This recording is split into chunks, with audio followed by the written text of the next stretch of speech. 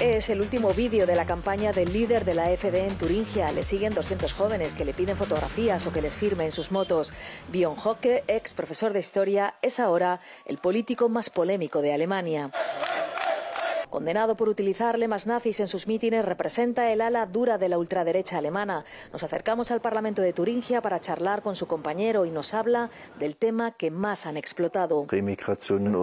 La reemigración es un componente más de lo necesario para controlar la crisis migratoria, nos dice Rinko Mühlmann, diputado de la AfD. Utiliza el término reemigración, elegida la palabra más negativa de Alemania en 2023, después de conocerse los planes secretos de reemigración de la AfD si gobernar expulsar a dos millones de personas del país.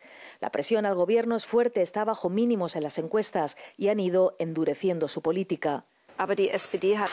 El SPD ha estado mirando durante mucho tiempo y tiene que ponerse manos a la obra, nos dice Cornelia Klis, diputada en Turingia por el SPD.